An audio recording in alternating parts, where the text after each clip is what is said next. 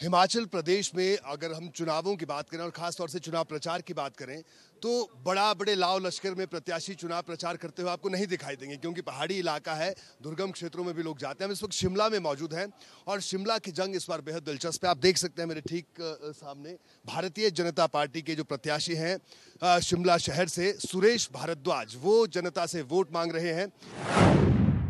भारद्वाज जी आपका स्वागत है इंडिया न्यूज़ में। धन्यवाद आपका। जी क्या कहना है आपका? क्या बड़ा चुनावी मुद्दा लेकर आप जनता के बीच में हैं? क्योंकि पिछले दो बार से लगातार आप शिमला शहरी का प्रतिनिधित्व कर रहे हैं।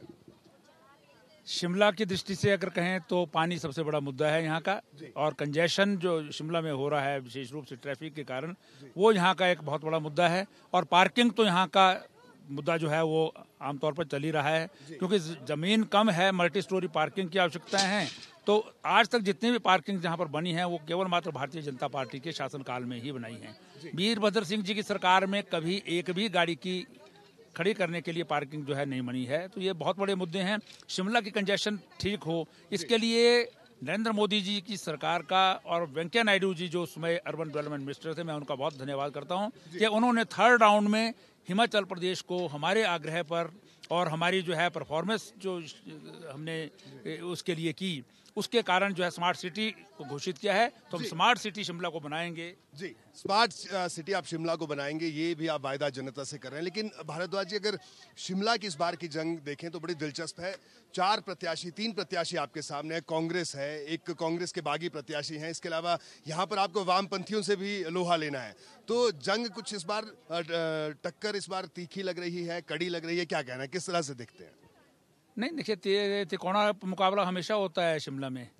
उन्नीस सौ पचासी के बाद लगातार शिमला में तिकोना मुकाबला होता रहा है। और उस तिकोने मुकाबले में जब भी मैं चुनाव में जो है उतरा हूँ तो मैं जीत करके आया हूँ।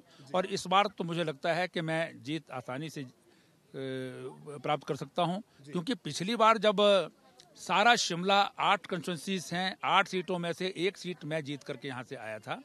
तो इस बार तो हमारी जो है वो इनकम्बेंसी कांग्रेस की है। जमानती सरकार है हिमाचल में भ्रष्टाचार युक्त सरकार है नॉन परफॉर्मिंग गवर्नमेंट है। पार्टी ने चेहरा नहीं दिया मुख्यमंत्री पद का तो आपको नहीं लगता कि थोड़ा नुकसान रहेगा? अगर चेहरा दे देते ज़्यादा फ़ायदा होता।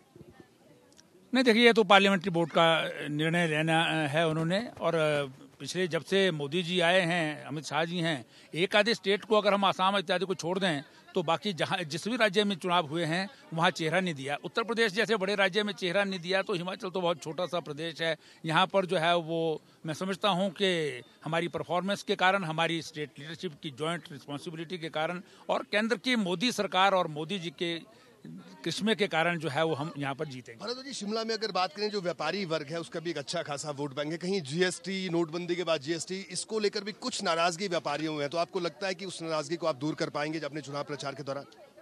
हाँ जीएसटी के कारण जो है गलत फहमियाँ कुछ लोगों में है। क्योंकि अभी तक जो बेनिफिट मिलना चाहिए इनपुट बेनिफिट इत्यादि, वो बहुत ज़्यादा लोगों को जो है समझ में नहीं आ रहा है। इवन जो सरकारी अधिकारी हैं, वो भी इस मामले में जो है समझा नहीं पा रहे हैं। लेकिन पिछले दिनों आपने देखा होगा जीएसटी काउंसिल ने जो हिमाचल प्रदेश के शिमला के व्यापारियों की सबसे बड़ी मांग थी कि हमको जो है दस दिन में अपनी जो है वो रिटर्न फ़ाइल करनी पड़ रही है जिसके कारण बहुत दिक्कत आ रही थी। वो केंद्र सरकार ने दूर कर दिया अब तीन महीने में रिटर्न भरनी पड़ेगी। हिमाचल प्रदेश की एक और समस्या है कि यहाँ पर जो मिनिमम जो है दस लाख का स्लैब है जिस पर जीएसटी नहीं लगेगा वो बाकी प्रदेशों में बीस लाख है। भारद्वाज जी का आखिरी सवाल? शिमला में चुनाव प्रचार कर रहे हैं, आप खूब यहाँ पर चलना पड़ता है क्योंकि हर जगह गाड़ी नहीं जाती। तो कितना दिन भर चल लेते हैं? क्योंकि पूरा देश देख रहा है, देश जानना चाहता है कि यहाँ पर हिमाचल में प्रत्याशियों को भी कड़ी मेहनत यहाँ पर करनी पड़ती है चुनाव से पहले। हाँ निश्चित रूप से बाकी प्रदेश जो हमारी कंस्टिट्यूंसीज हैं हिमाचल प्रदेश की वहाँ पर तो गाड़ियों का उपयोग होता है। सब लोग जो हैं गाड़ियों के खर्चे भी बहुत होते हैं ज़्यादातर गाड़ियों के खर्चे होते हैं। शिमला में गाड़ियों का कोई खर्चा नहीं है। लेकिन पैदल चलना पड़ता है एक एक घर में हम जाते हैं।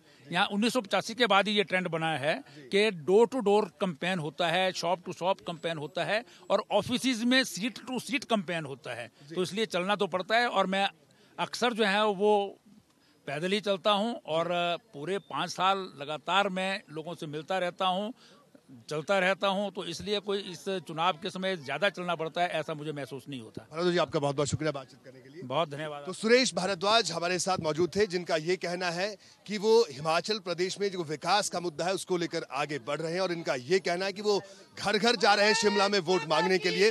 ऐसे में भारद्वाज जी का ये सफ़र विधानसभा में खत्म होता है या नहीं, ये देखने के लिए परिणामों तक का इंतज़ार करना होगा।